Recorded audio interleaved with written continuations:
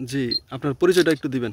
জি আমি মোহাম্মদ বাবুল এলাহি আমার বাড়ি সিঙ্গারবিল এই জমি থেকে পাঁচশো গজ দূরে আমার বাড়ি। আচ্ছা আচ্ছা। তো এই এইবার যে ফলনটা করেছেন এর আগে কি কখনো ফলন করেছিলেন? না না এইবারই আমি প্রথম সূর্যমুখী ফলন করব সূর্যমুখী চাষ করছি। আচ্ছা আচ্ছা। তো এই যে পুরো বাগানটা দর্শনীয় একটা বাগান দেখা যাচ্ছে। কিছুক্ষণ আগে দেখলাম অনেক লোকজন ভিজিটে আসলো এখানে দেখা সাক্ষাৎ করার জন্য। তো এই বাগানটা করার পরে এইটা আপনার কাছে কেমন লাগতেছে? আসলে আমার কাছে অনেক ভালো লাগতেছে প্রতিদিনই হাজার হাজার দর্শনার্থী আসে দেখে আনন্দ পায়। এটা দেখে আমার কাছে অনেক ভালো লাগে। আসলে কোন বিষয়টার উপর বেস করে আপনি এই বাগানটা করেছিলেন প্রথম? যে আসলে এত বড় একটা বাগান করা তোর মুখের কথা নয় হঠাৎ করে। কারণ এদিক থেকে আশেপাশে যতটুকু দেখা যাচ্ছে সেগুলো হলো ধানের জমি। তো ধানের জমি ছেড়ে আপনি হঠাৎ করে সূর্যমুখী বাগান করার কারণটা কী ছিল? আসলে এই জমিগুলো আমার আগে সবসময় ধানের ধান চাষই করতাম। গত বছর দেখলাম আমার পাশে একজনের সূর্যমুখী চাষ করছে। দেখলাম অনেক লোকজন আসে দর্শনার্থীরা আসে ভালো লাগে। সে থেকে আমি মানে আমার ইচ্ছা পোষণ করে আর কি যে আল্লাহ আমাকে হায়াতে বাসে আগামী বছর আমি সূর্যমুখী চাষ করব। সে থেকে এই বছর আমার মূলত করা। এই পুরো জমিটা কতটুক? জায়গাটা কতটুক? এখানে প্রায় সাত বিঘা। চারটা জমি একসাথে আছে পুরাটা সাত বিঘা। আচ্ছা আচ্ছা। তো শুরুতে যে এটা করেছেন এটা জাতটা কি? আসলে কি জাত এটা? এটা হলো হাইসান তেত্রিশ। তেত্রিশ। হ্যাঁ বর্তমান প্রজন্মে আসলে আমরা তিন চারটা জাত দেখি। সেটা হলো আপনার বাড়ি তিন হাইসান তেত্রিশ এছাড়া আছে আরডিএস হাইব্রিড সাতাইশ পঁচাত্তর যে জাতগুলো। তো তার মধ্যে হাইসানটাও খুব ভালো একটা জাত। তো মোটামুটি আপনার ফলন তো খুব ভালো হয়েছে। আপনি কেমন? আশাবাদী কেমন? ইনশাল্লাহ আমি আশাবাদী অনেক লাভবান হব। আচ্ছা। দেখলাম যে অনেক লোকজন আসছে দেখার জন্য। খুব আনন্দ উপভোগ করে পাশাপাশি আমার একটা আগ্রহী সৃষ্টি হলো পরে বছর জি। এটা এটা আমি জানি না উনি যদি এরকম ক্ষমতা এমন থাকে আর ওই ছেলের যার কথা বলতেছেন সুরাফ এরও যদি এত ক্ষমতা থাকে আচ্ছা তো যে জিনিসটা বলছিলাম রুদ্র- রুদ্র কিন্তু লাগতেছে। অসুবিধা নেই না থাকে আপনাকে দেখা যাবে। এই জন্য তো চশমা দিলাম আপনাকে। তো যে বিষয়টা বলছিলাম যে মানুষ যে দূর দূরান্ত থেকে আসে ভিজিট করতে আসে, এটা তো অবশ্যই ভালো লাগে। কিন্তু অনেক সময় দেখা যায় যে একসাথে পনেরো বিশ জন বাগানে ঢুকে গেছে, তারা গাছের বা বাগানের বিনষ্ট করতেছে আর কি। এই বিষয়টা কি চোখে দেখতেছেন? আসলে পনেরো বিশ জন না, একসাথে দেখা যায় পঞ্চাশ জন, একশো জনও ঢুকে।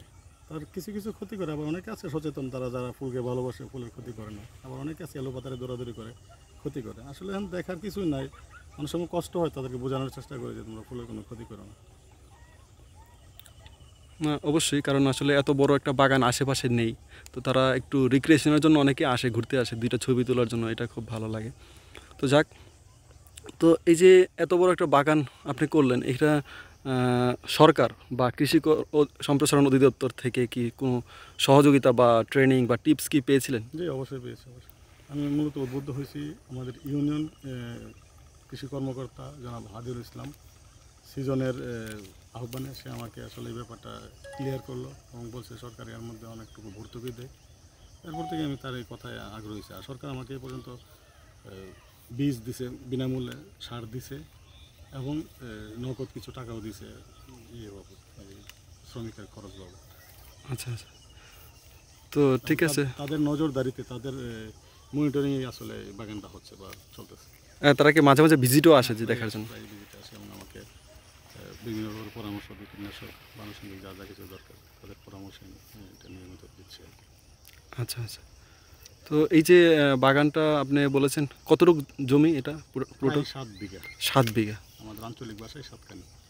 সাতখানি মানে তিরিশ শতকে একখানি এরকম সাত ইন্টু সাত। তার মানে তিন সাতা একুশ দুইশো দশ দশ শতাংশ। শতাংশ। খুব ভালো খুব সুন্দর হয়েছে। তো আমি যেটা বলতে চাচ্ছিলাম যে এই জাতে আমি যেটা যতদূর আমার নলেজ আছে সেটা হলো আপনার বাড়ি থ্রি বা আরডিএস সাতাশ পঁচাত্তর যে জাতগুলো, এটা প্রতিটা সূর্যমুখী ফুল থেকে প্রায় দুইশো তিরিশ থেকে দুইশো বত্রিশ গ্রাম বীজ হয়।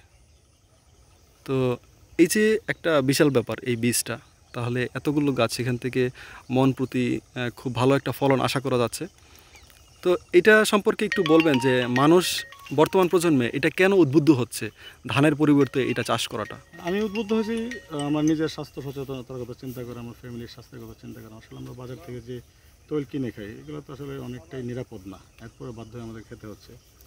যখন শুনলাম যে সূর্যমুখীর ইয়েটা, তৈলটা অত্যন্ত নিরাপদ এবং এখানে নির্ভেজাল, যেহেতু আমি নিজে এটা চাষ করতেছি, এখানে তেমন কোনো কীটনাশকের প্রয়োগ নেই। তো সেই হিসেবে ভাবলাম, আমার ফ্যামিলির চাহিদা মিটিয়ে হয়তো অতিরিক্ত হলে আমি বাজারে, বাজারজাত করব। যেটা ব্যবহার করে অন্যান্যরাও ইয়ে পাবে স্বাস্থ্য স্বাস্থ্যের সুবিধা পাবে।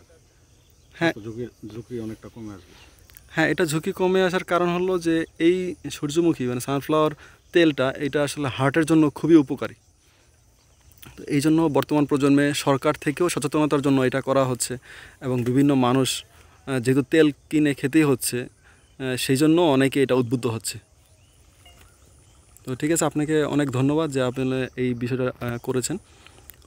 আপনাদেরকে অনেক ধন্যবাদ আপনার কষ্ট করে এখানে আসার জন্য এবং প্রতিবেদনটা করার জন্য। আচ্ছা